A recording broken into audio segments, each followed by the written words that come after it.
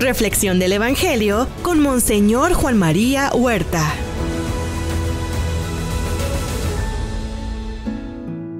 Hoy es día 6 de mayo, gracias por estar en Guadalupe Radio Estación que se escucha en Los Ángeles, San Diego y Tijuana. Vamos a la reflexión del Evangelio y tomamos muy en cuenta el capítulo 15 de San Juan en los versículos que van del 9 al 11. Escuchemos.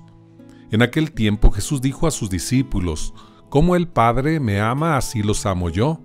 Permanezcan en mi amor. Si cumplen mis mandamientos, permanecen en mi amor. Lo mismo que yo cumplo los mandamientos de mi Padre y permanezco en su amor. Les he dado esto para que mi alegría esté en ustedes y su alegría sea plena. Palabra del Señor. Gloria a ti, Señor Jesús. Bien, pues entonces el Señor Jesús nos invita a que el amor del Padre se refleje en nosotros. Pero mire nada más cómo dice, como el Padre me ama, así los amo yo. Permanezcan en mi amor. Si cumplen mis mandamientos, permanecen en mi amor. Yo me pongo a pensar un poco así a veces ¿Cómo será el amor del Padre, de Dios Padre por su Hijo Jesús?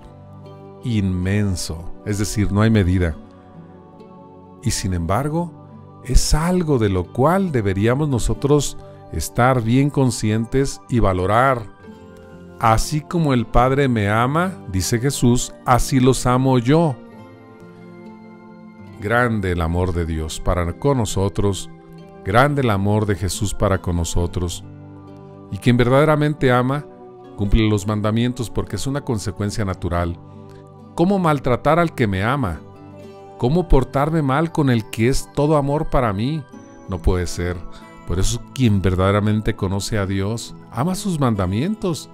Quien verdaderamente conoce el amor de Dios, ama. No puede hacer otra cosa. Consecuencia natural es observar sus mandamientos, porque en realidad no hay modo para ofender al Señor cuando uno se siente amado. Por eso, ni en lo más mínimo de mi imaginación puede caber cómo será el amor de Dios hacia el Hijo, de Dios Padre hacia Dios Hijo, y cómo es su amor también hacia mí. Ojalá valoremos más su amor y que valorando más su amor, no pequemos, que estemos bien. Buen día. Reflexión del Evangelio con Monseñor Juan María Huerta.